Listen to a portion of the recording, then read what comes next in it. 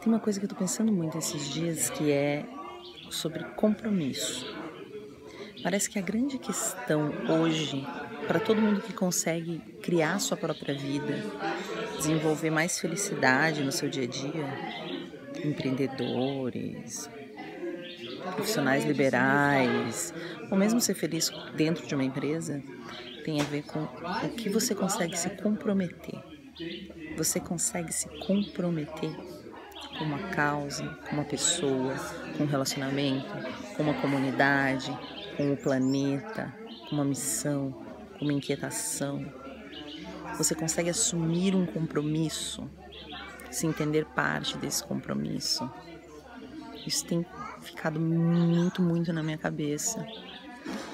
E eu acho que é uma boa coisa para se pensar. Às vezes você está aí se sentindo sozinho, e só quando você decide se comprometer com algo, se entrega para essa coisa, que essa coisa vai te abraçar e que você vai poder se sentir parte.